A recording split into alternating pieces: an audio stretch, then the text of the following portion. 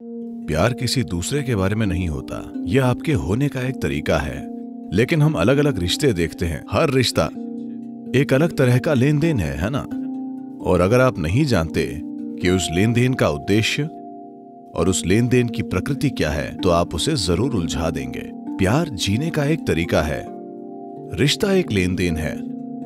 लेन then को उसके नियमों के अनुसार चलना चाहिए। अगर आप लेन देन के नियम तोड़ेंगे तो यह टूट जाएगा।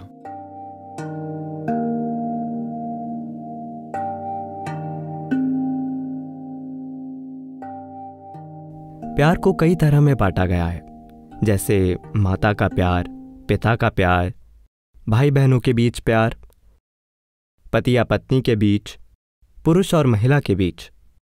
मैं जानना चाहता हूँ कि क्या ध्यान, सेक्स और प्यार के बीच कोई संबंध है? ये पहला प्रश्न है। दूसरा है, शिव और शक्ति। शक्ति ऊर्जा है और ऊर्जा पदार्थ है। क्या हम कह सकते हैं कि यही चेतना है? क्या हम इसे चेतना और पदार्थ कह सकते हैं? दूसरे सवाल का उत्तर है, नहीं, ये गलत है। इस वर्णन में काफ़ी ज़्यादा गलतियाँ हैं। मुझे नहीं पता कि हमारे पास इसे समझने का समय है या नहीं, क्योंकि ये जीवन का एक विशेष आयाम है, जिसे सही तरीके से समझना चाहिए। पहले वाले के लिए, देखिए, हम इस पर पहले ही बात कर चुके हैं। देखिए, प्यार किसी दूसरे के बारे में नहीं है, इसे समझिए। रिश्ते दूसरों के बारे में होते हैं। हम अलग अलग तरह से लोगों के साथ अलग अलग संबंध रखते हैं, है ना? ये इस पर निर्भर करता है कि हम कैसे काम कर रहे हैं। अब आपका बच्चा आता है तो आप प्यार से उसे पकड़कर अपनी गोद में बिठा लेते हैं। आपका पड़ोसी आता है तो कृपया ऐसा ना करें। पर क्या आप अपने पड़ोसी को बिना उसे पकड़े उतना ही प्यार कर सकते हैं? हाँ या ना? तो आपकी माँ आती है आप ऐसा करते हैं और अपने प्यार का इजहार करते हैं आपका कुत्ता आता है। boo, boo, boo, boo, you do.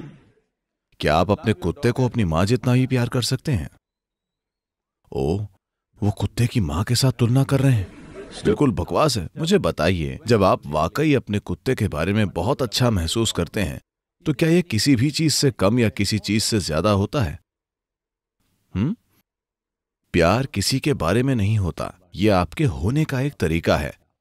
लेकिन हम अलग अलग रिश्ते रखते हैं। कुत्ते के साथ हमारा रिश्ता एक तरह का है हमारी माँ के साथ हमारे बच्चे के साथ एक दोस्त के साथ ऑफ़िस में अलग अलग तरह के रिश्ते हैं। रिश्ते लेन देन के होते हैं। लेन देन को समझदारी से निभाना पड़ता है। आप सभी के साथ समान लेन देन नहीं रख सकते। ये बहुविवाह है।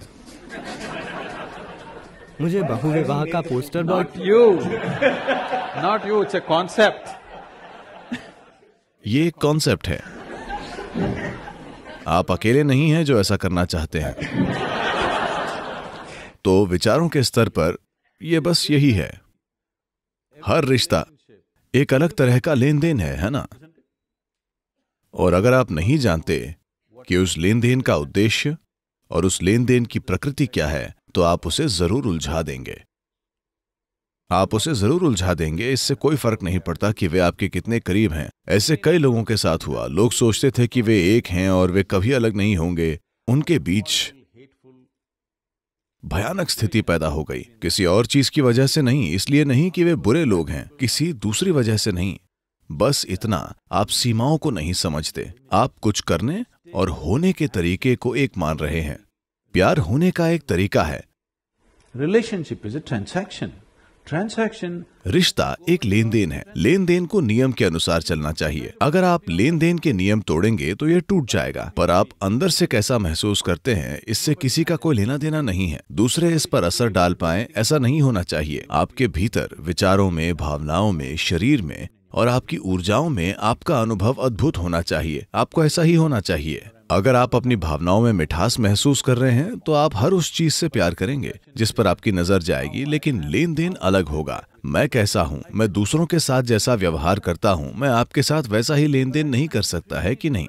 पर मुझे आपके प्रति अलग भावनाएँ रखने की ज़रूरत नहीं है, क्योंकि मैंने अपने भीतर ऐसा होने का फैसला किया है। तो आपको ये समझना होगा कि अंदर की स्थिति और कुछ करना क्या होता है। अगर आप फ़र्क नहीं करेंगे तो आप दोनों को मिला देंगे और आपको लगेगा दोनों एक ही हैं। आई लव यू एक झूठा बयान है।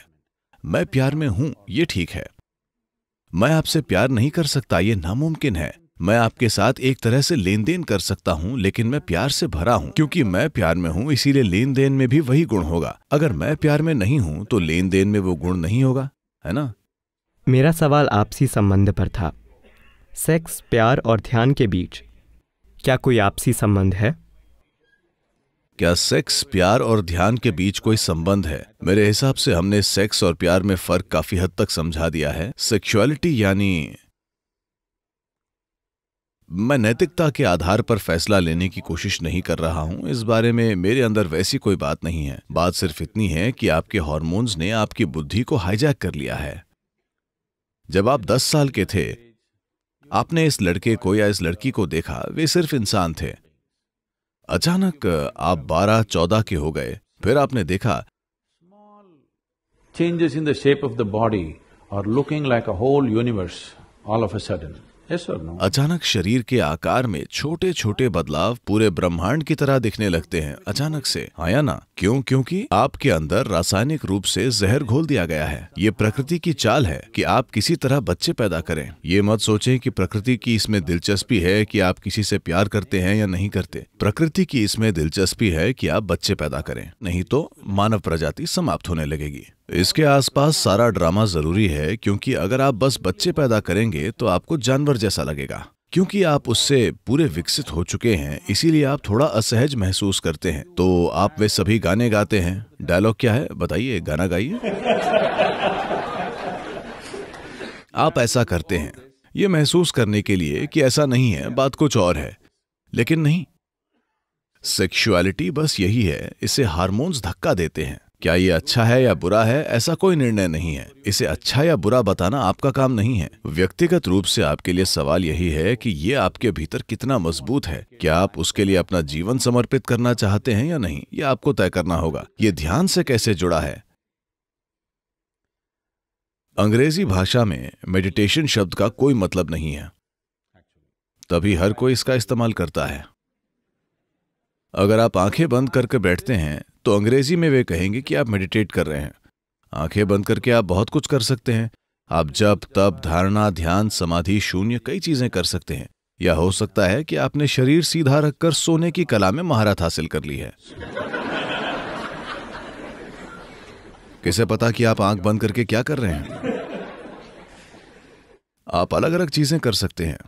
तो अगर हम मान लें, अगर हम मान लें कि मेडिटेशन का अर्थ ध्यान है फिर से ध्यान शब्द का प्रयोग कई अर्थों में किया जा रहा है। आजकल इसका कोई विशेष अर्थ नहीं है, पर इसका एक खास अर्थ है। इसका मतलब है कि अगर आप यहाँ बैठते हैं तो आपका शरीर यहाँ है, आपका मन वहाँ है और आप कहीं और हैं।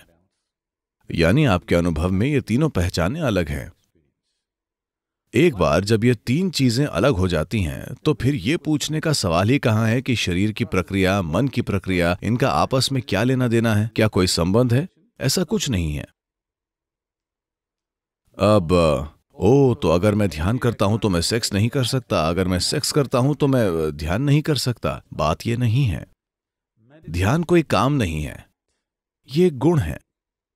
अगर आप अपने शरीर, मन, ऊर्जा और भावनाओं को एक स्तर तक परिपक्व कर लेते हैं तो आप ध्यानपूर्ण हो जाते हैं।